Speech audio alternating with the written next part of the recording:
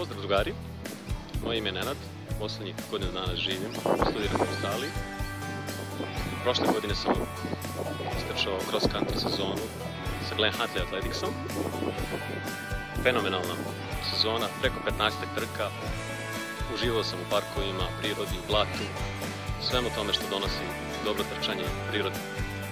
Evo upravo se nalazim na jednom treningu Glen Huntley Athleticsa i upravo vidite kako se ljudi znoje i kako ih Trevor Vincent, živa legenda Glenn Huntleya muči.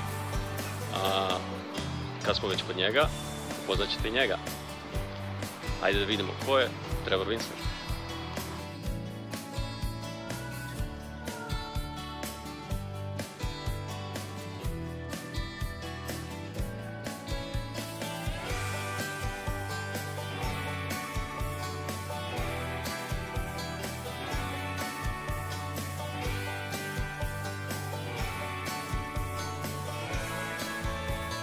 Hi everyone, it's TV here. Welcome to sunny Melbourne. Beautiful one day, fantastic the next. Lovely place for running. Leonard's favourite city and country. It's Vashita Yakov.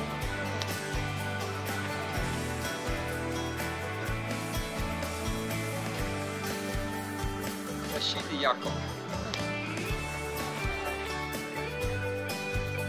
A evo i šta vam poručili drugari nakon trčanja.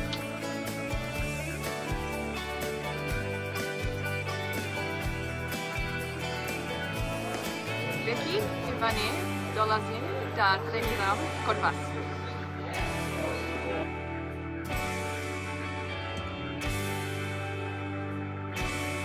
Acesta!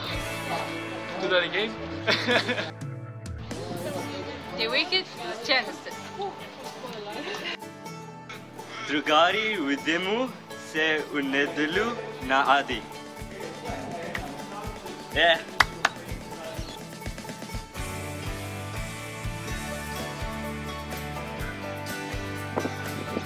Eto, vidjeli ste šta su vam poručili trkački drugari iz daleke Australije.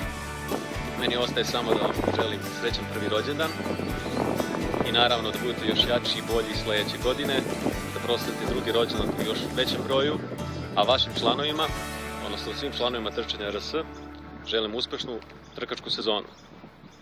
I za kraj,